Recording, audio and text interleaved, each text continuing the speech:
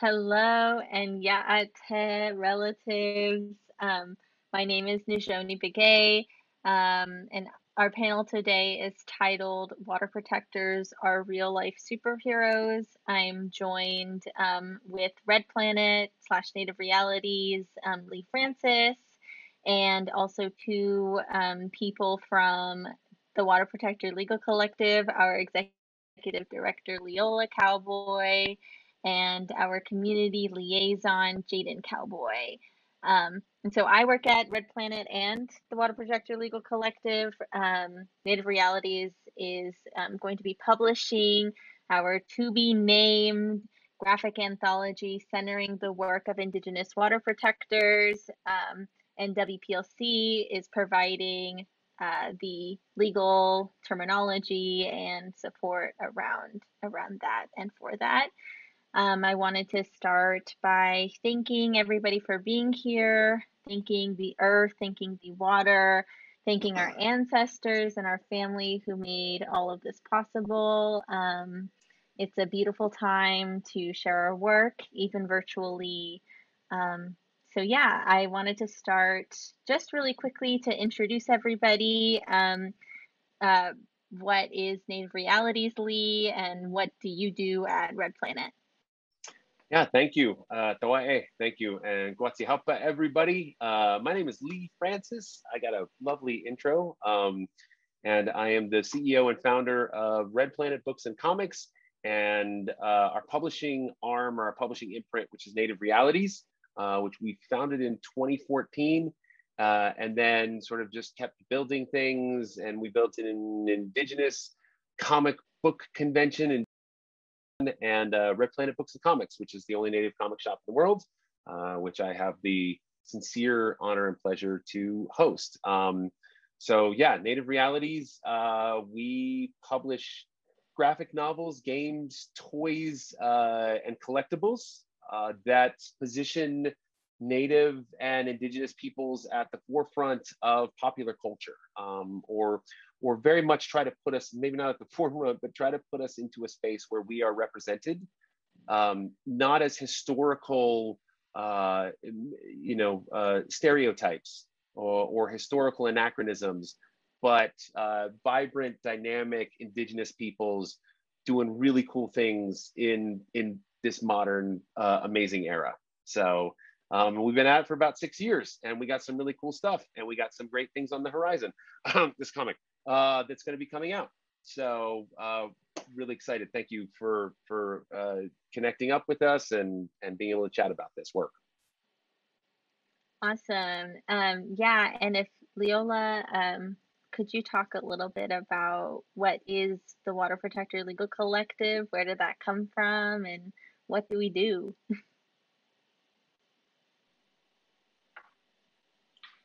Yeah, got a Leoyla Kabuyanisha. What's up, relatives? Hello, relatives. Um, yeah, so what is Water Protector Legal Collective? I was just like trying to think about that and think, wow, there's so much we do. But um, so we were born, the organization was born out of the No DAPL um, occupation camp in Standing Rock, North Dakota in 2016. I personally wasn't there, so I get to hear these stories. Um, I was um, there, but not in the legal tent. So I did kind of see what was going on and was very familiar with the work that they were doing. So that's how this whole organization, group of relatives came together. And um, started doing the criminal legal cases for the water protectors that were being arrested during that movement. Um, and it's been an interesting journey. I started back in 2016, so maybe like a year after um, the organization came about. And so a lot of what we do, um, no, everything we do, oh my gosh, came out of a prayer. There's there was some very um, sacred prayers made by very specific people. And we are that prayer, every single one of us here today, and so many more. Um, did such incredible work to pave a way for us as Indigenous people, Indigenous women, BIPOC, to do this work. And um, I'm really very humbled that I'm able to do this work. And I am not a lawyer, by the way. Every time someone hears about Water Protector Legal Collective, they're like, oh, you're a lawyer. No, I'm not a lawyer. Um, that's what's so great about this organization. Um, so, like, if you're interested in legal support, legal work, and how all of that looks, like, we're and you're indigenous and you want brown people to show you like what's up in the legal world we're it we're there um, so I'm I I think it's just been an amazing journey to see how I started in this organization, but also like where it's at today. And it's an amazing place to be. Um, and I'm just really grateful for that. Um, I forgot what your question was too. That was that that answered it perfectly. Um, yeah, Jaden, I, want to know uh, the work that you do at WPLC and the work that you've done previously um, because you're so awesome. So if you could just talk a little bit about that. Yes, uh, Yate, Jaden Cowboy, nice to meet you all. I am Afro-Indigenous, um, Indigenous person from Daneta Nation.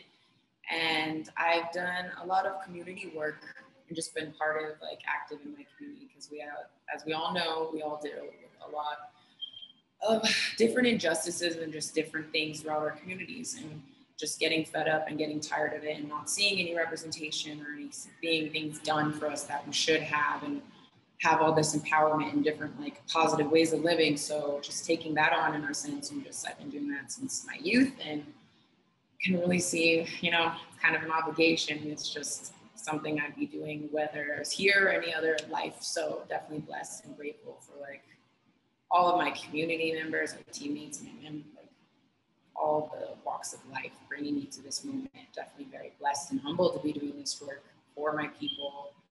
And I've been, I definitely, I was out there in ND and took, definitely had my moments in space and was blessed to be out there in that land and be able to participate in standing up for what's right. And as of now, I work for, I'm the communication legal liaison for um, WPLC. I've worked with them in the past, however, as a paralegal. And just, and volunteer and just um, done a lot of different work that just happened to happen. And now trying to move forward in different ways in a role of like taking on a more space to actually build um, and fit our needs for the community now versus just being born out of the movement because as we know that's just entails so much going on and a lot of state cases came out of that a lot of federal cases a couple of a few cases federal cases came out of that.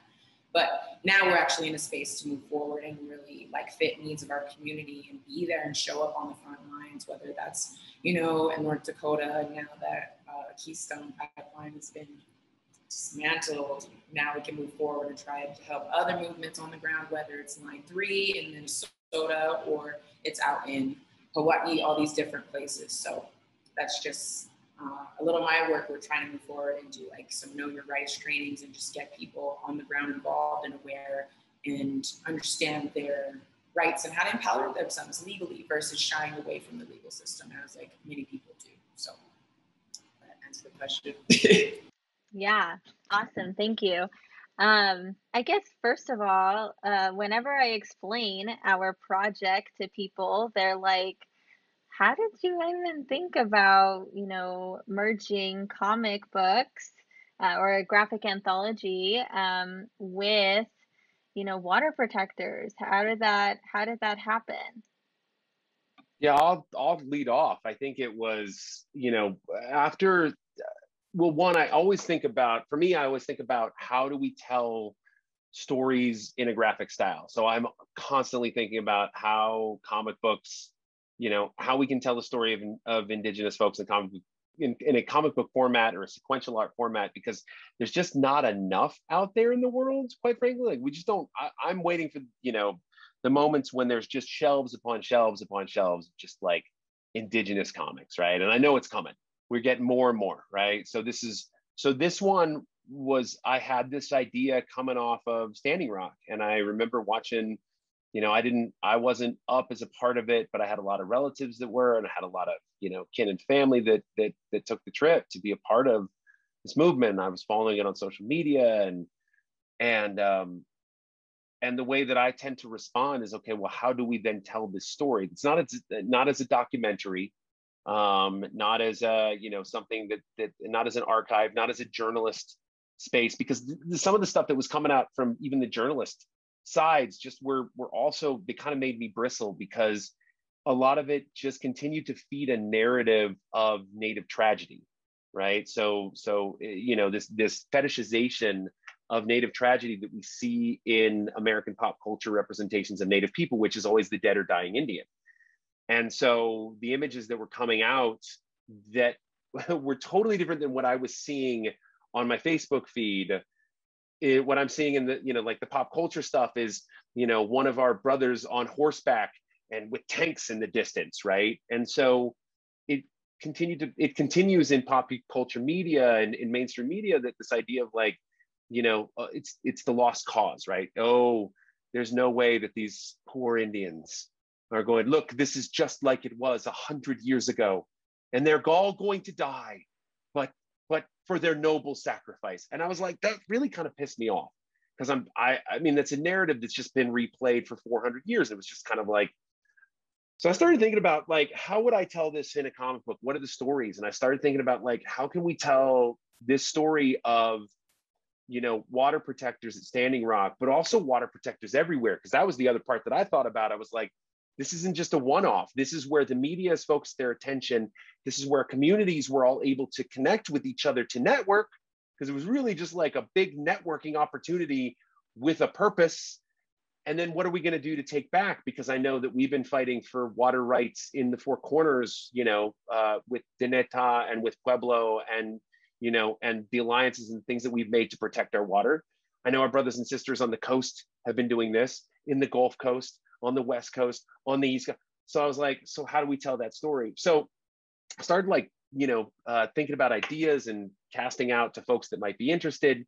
And uh, and then just way led unto way. And we just, you know, it was like I had a Comic Con started and then, you know, and then and then we were making different comics and other things were coming out. We were opening a shop and and it just kind of like drifted more than I I, I would really you know was was was liking. And so um, you know, was contacted. Uh, WPLC was like, we got this crazy, you know, it's like, uh, let's talk about some things. You know, what can we do? We we want to do something exciting. And I was like, oh, I've got a project that I had to back burner for a while, but I've been wanting to tell the story, and let's tell it as a comic book. Like, let's put this thing together. And that was where, you know, so when when people will say that, it was like, okay, well, how do we create a narrative that tells these multiple stories, that tells the history of water protection from an indigenous space, and also sprinkles in all the legal stuff that we need to make this kind of like um, I don't know, the best legal awesomeness that you're going to have in your back pocket ever. Um, so we had a lot of things to put together, even in the initial conversations. And I was like, listen, I'm all for it. And we're really good at publishing comics and we're really good at working with folks and we got a lot of native people that we know that can make something really awesome and um, so let's do it. And that's how i met you Nizhoni. It was, uh, it was just i put out i was like i need a project coordinator. I need someone to pull this together. And you were like all, right I, I saw you doing nerd stuff. Uh, uh, you look like a pretty cool nerd. I'll come on board. So that's how that's how it started. That's how it came together.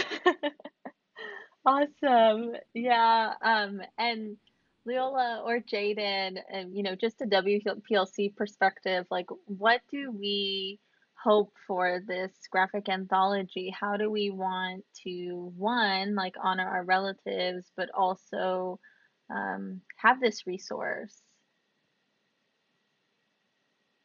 I can take that if you want. Um, honestly, like it started really organically, right? It started from conversation and just from a need and from our own personal experiences, seeing all of our communities and just different people around go through the struggle and just always kind of have that sort of sort of defense from the legal perspective, uh, legal perspective and legal side of it, just because of all the experiences you know that are probably very shared and they're not always um, very pleasant ones, if ever. You know, it's very rare.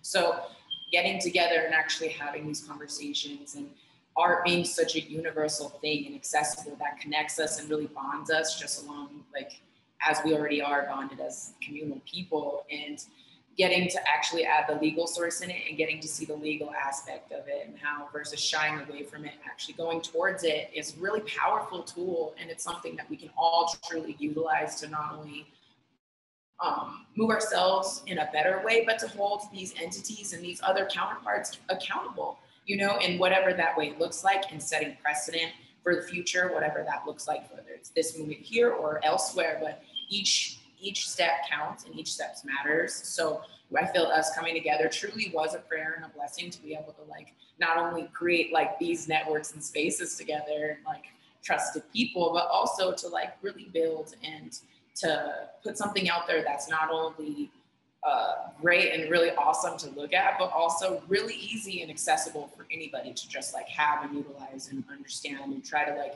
help whatever we're trying to move forward in a good way because that's our intention, you know, to just do things in a good way, whether we're what no matter where we're at and where who we're with, as long as we're like doing it in a good way together and connected in our best intention forward. so I think that's what we're doing, and we're super blessed to be in this spot. So super grateful to be talking about this. So excited.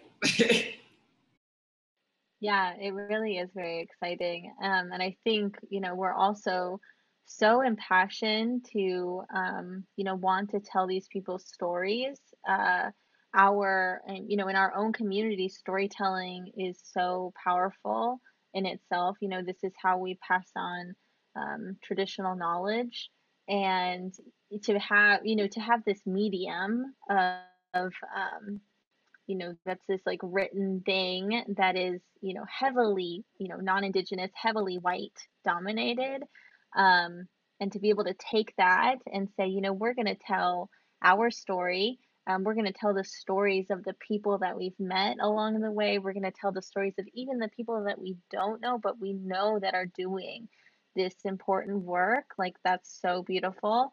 Um and yeah i i i the, the last thing that my last final question um and then maybe we have like a little surprise at the end um so what are some things that people can be doing from home um you know wherever they are watching this panel to support water protectors in the meantime and in the in like the anticipation of um, our graphic novel, graphic anthology, excuse me.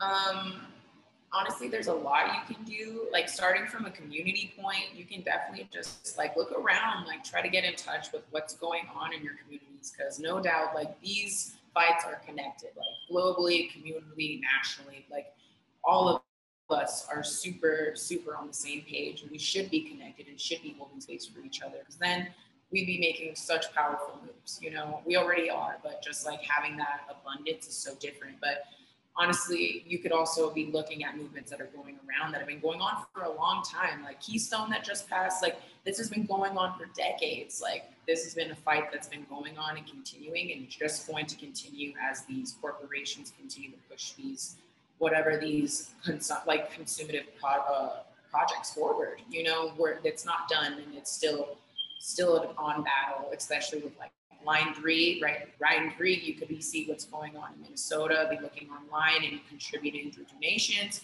contributing through calling and calling the people locally and asking about this and uh, opposing against these things. You could do that for pretty much any movement that's going on. There's there's a lot to do, but mostly is like getting in touch, looking online, and seeing what's happening. Also, like um, nationally, because these these projects tend to run through directly connect through states. So there's there's different opportunities. But yes, looking online and actually contributing to that, whether it's actually paying attention or if it's giving donations or if it's giving funds or just prayers and sending putting medicine down, you know, and putting thoughts and good energy towards them, any type of attention is really important and actually move something forward in a better, better way, a better direction, I believe.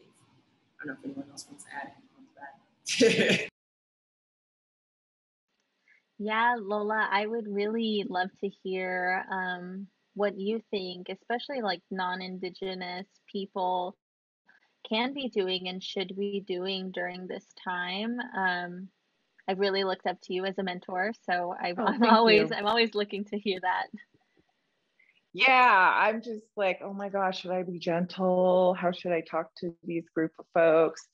Um, no, like people need to step up, right? Like I'm a I'm a daughter, I'm a sister, I'm an auntie, you know, I'm a grandmother, and I am very much worried, concerned about us as a humanity and how we treat our everyone but humans. Like, and I'm talking about our animals, like the living earth itself, the water. And on that note, um, as indigenous, as an indigenous woman from my Dene nation, just so close by, um, people really need to look at where they're at, at at this moment, at any moment, and see whose original homelands you're sitting upon. Right? There's no denial. You like you're sitting you're sitting in someone else's homelands and what that means to us as indigenous people is that is our whole livelihood. We base so much on our land like everything's around the land prayers ceremony like you name it it's all on our land and the water. And it's so vitally important at this moment for everybody to step up because just by recycling and having your little you know um, carbon um, straws like that's not enough. Like we are in a seriously crucial time right now and people need to step up and whoever's homeland you're on get to work man get to work because you're thriving upon our indigenous bloodshed. We're missing so many of our ancestors because that land was taken from us vitally i mean like brutally brutally in a horrible like the most horrible way. Like we're just hearing about all of these indigenous children up north being found in residential schools.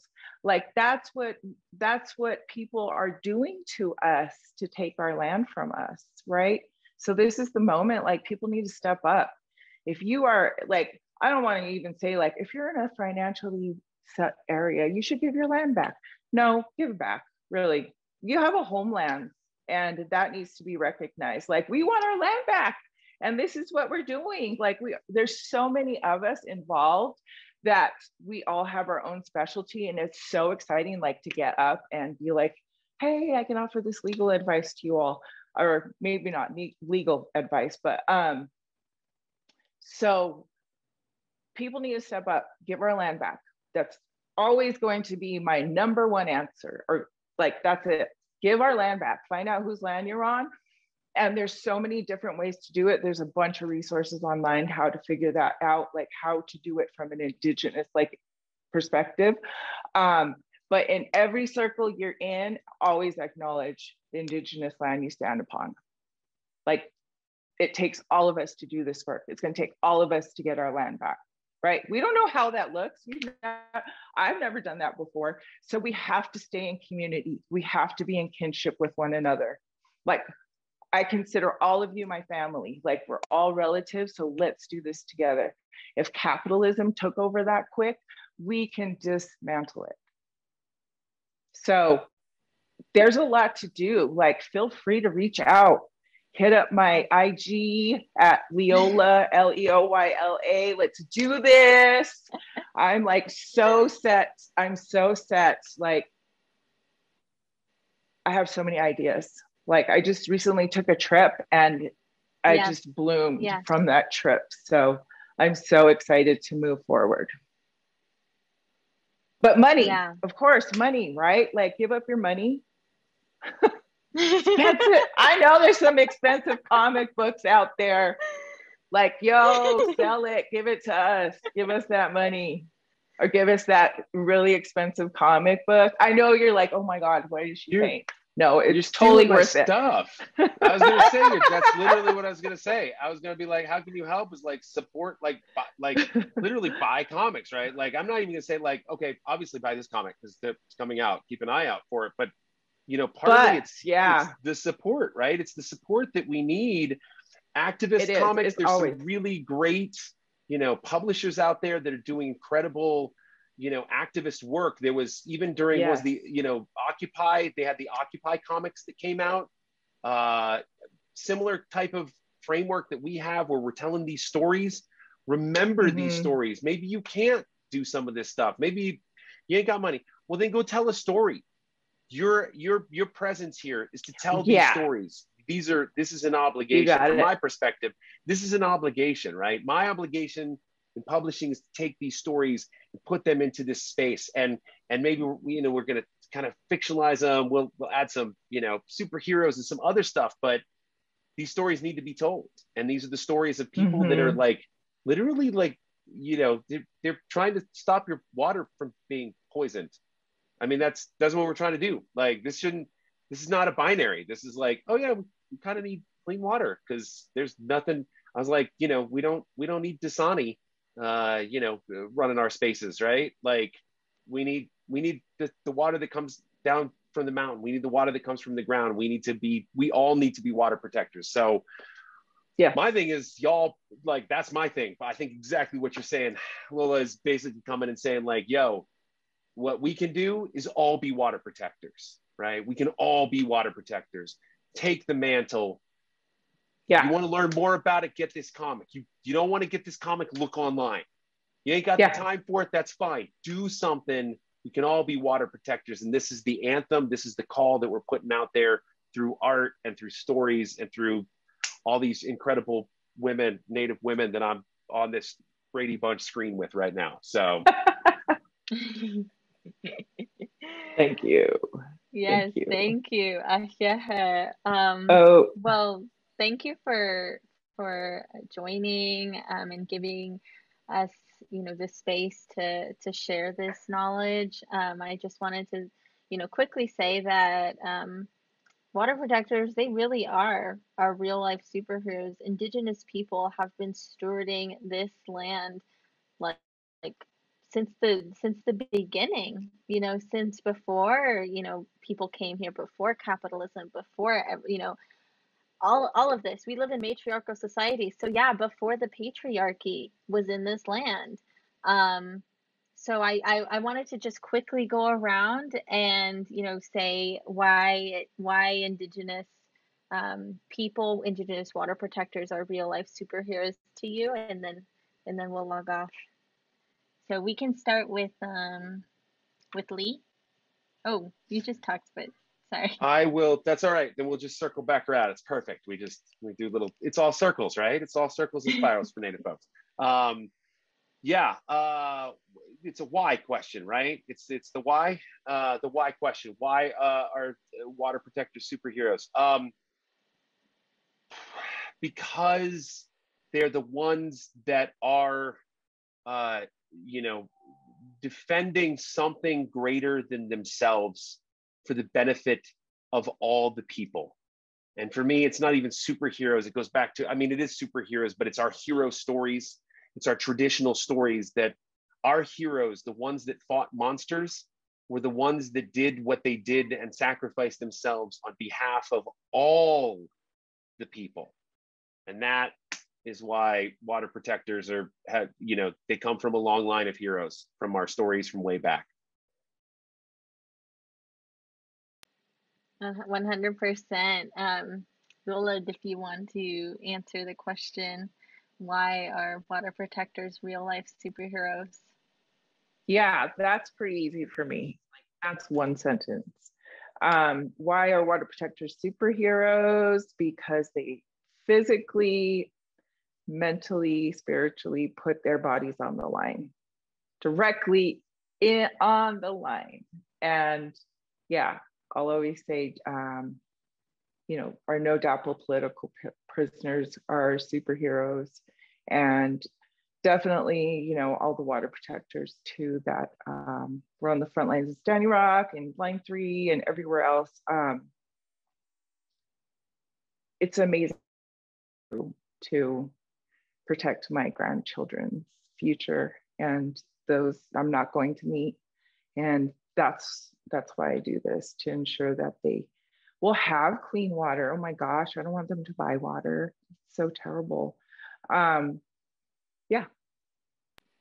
Awesome. And yeah, Leoyla was talking about, you know, how she um, came from this trip. We were just um, at Line 3 um, supporting the work that Indigenous activists, water protectors are doing there. Um, and it was really inspirational, beautiful. Um, it gave me a, a, boost of energy, you know, in the work that we're, we're doing. Um, even, you know, even in this comic book, um, even in, uh, you know, these spaces that don't seem directly as, you know, connected to this direct action, but it, it is. Um, and yeah, Jaden, if you want to answer the question, why are water protectors real life superheroes? I would love to hear your answer. Yeah, I gotta say that's like super easy for me too. Honestly, they're some of the most most fearless, fierce, down, badass beings like walks like in this walk of life I've ever had the like the pleasure to to not only experience and like share and actually have a lot of beautiful uh, connections and experiences from that, but also they literally uh, our ancestors' prayers, literally. And it is such a powerful thing. And sometimes just sit and watch in awe to see how strong and how protective and how how powerful we truly are as you know as these beings as indigenous people and how at, we'll stop at nothing to do what we know is right which we know to our core to our spirit which is to protect all walks of life, whether that's the land, whether that's the, the like every walk of life, you think from the air, the earth,